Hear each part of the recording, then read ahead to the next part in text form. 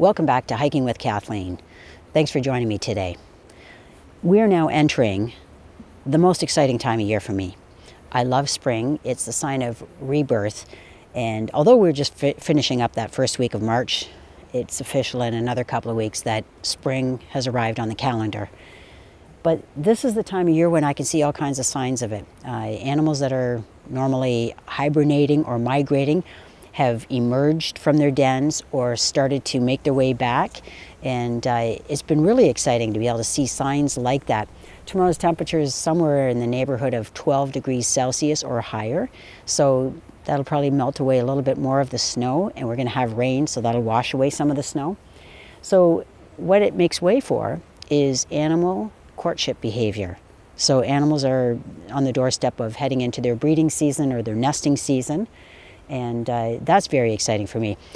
Yesterday, Shannon and I just celebrated our 11 year anniversary, so that was exciting for us. And looking ahead to the next few months, we have really awesome trips lined up for our camping season. Uh, the biggest part of it will be our trip to Newfoundland. And we are from Ontario. We've never been to Newfoundland, so we're really looking forward to that. And we have other camping trips booked as well. So I'm excited that we have all of that in the air, and I hope that you continue to join me not only today, but for the rest of the season.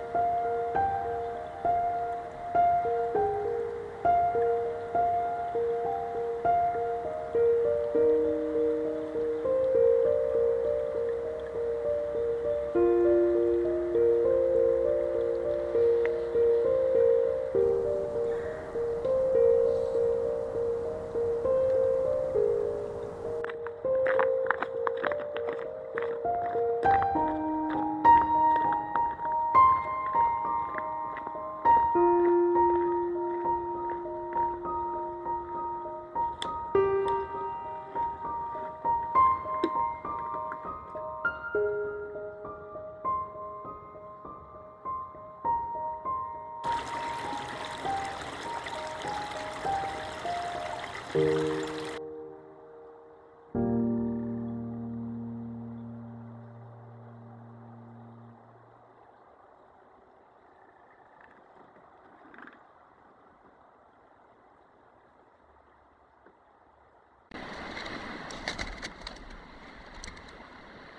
this is why I always scan any sort of uh, ridge that I'm walking by.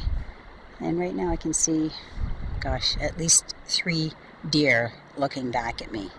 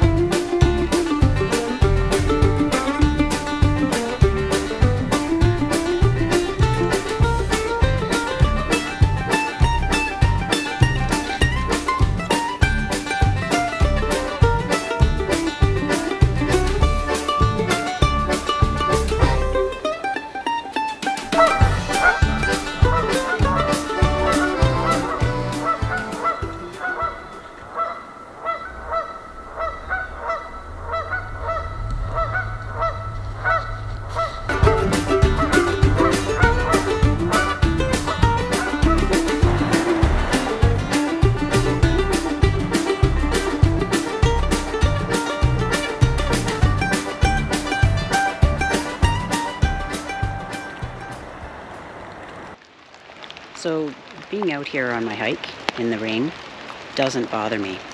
As long as I have the proper gear on, where I stay dry and warm, that's all that matters. And I've made sure that my camera's nice and dry.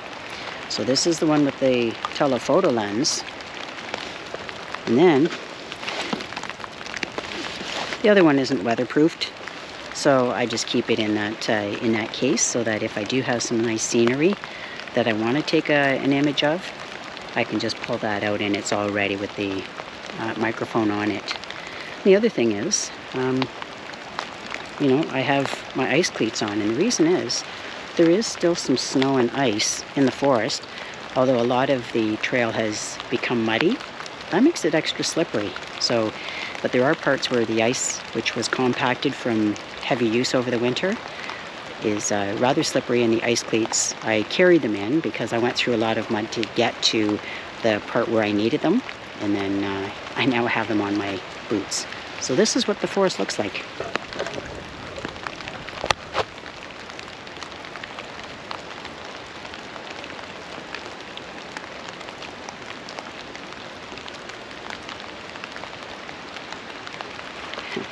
and this is what I look like to be in this forest.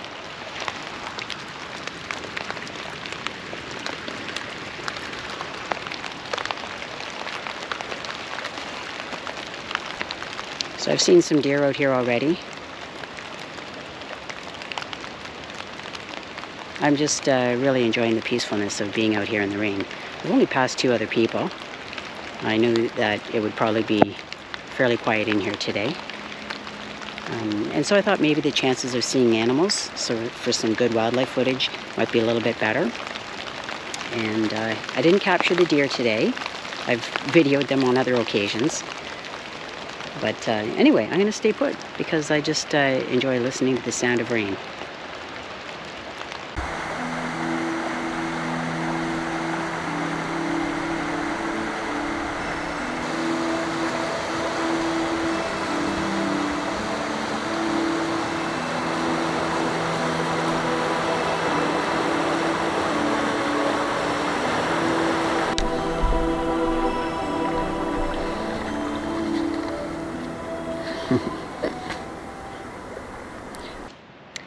Well, given the rainy weather, I haven't had my camera out a whole lot today. But uh, I'll tell you, being out in the rainy weather adds to the peacefulness. It really does. Um, yeah, it's a lot quieter out here. Animal-wise, uh, hiker, hikers are uh, absent, or there's only been a few that I've passed. Um, what I really like is with this melting snow, I can sneak through the woods a lot more quietly. Uh, when it was minus 10 and minus 20 degrees Celsius, the snow had a really loud crunching sound, which sounded awesome on the videos, but it wasn't very good for sneaking up on things. So this has uh, some give to it. And as I say, the temperature's around the freezing mark right now. So and there's parts of the trail that don't actually have any um, uh, any snow cover. It's just down to the leaf litter and the mud. So anyway, it's uh, been a real pleasure being out here on the trail today, and I'd like to uh, add that variety to my lineup of hiking and being able to provide you with some interesting video content.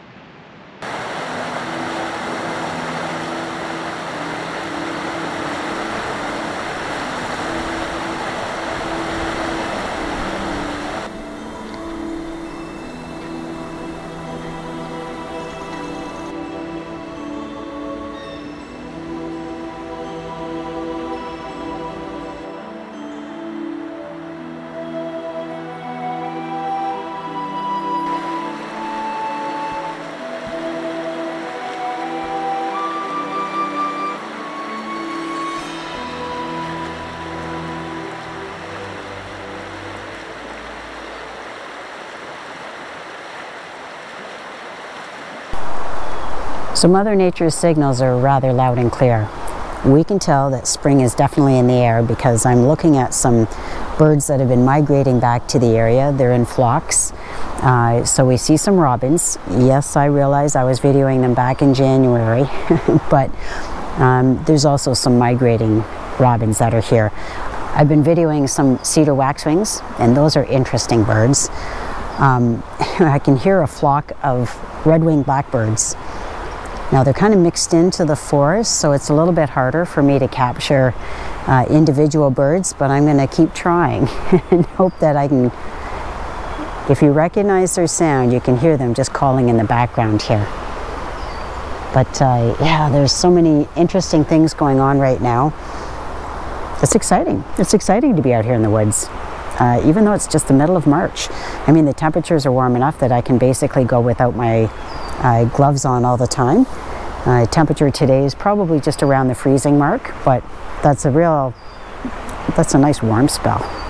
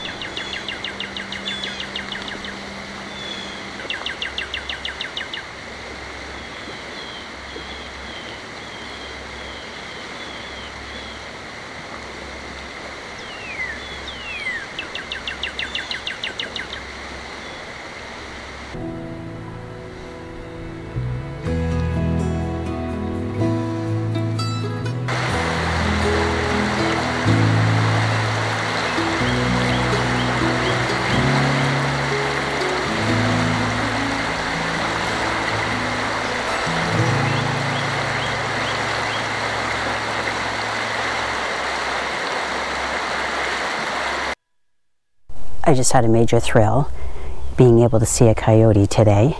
Um, today is March 9th, 2022. And uh, actually, another um, photographer was out in the field and uh, told me about this sighting.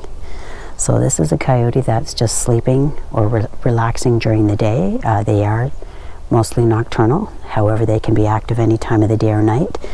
Um, but this is just resting during the day, which is often what deer do during the day. So, because this animal's fur is so white, which would be great camouflage for the winter when there's lots of snow on the ground, and because there wasn't much snow in the area of its chosen um, resting spot, it was easier to pick out.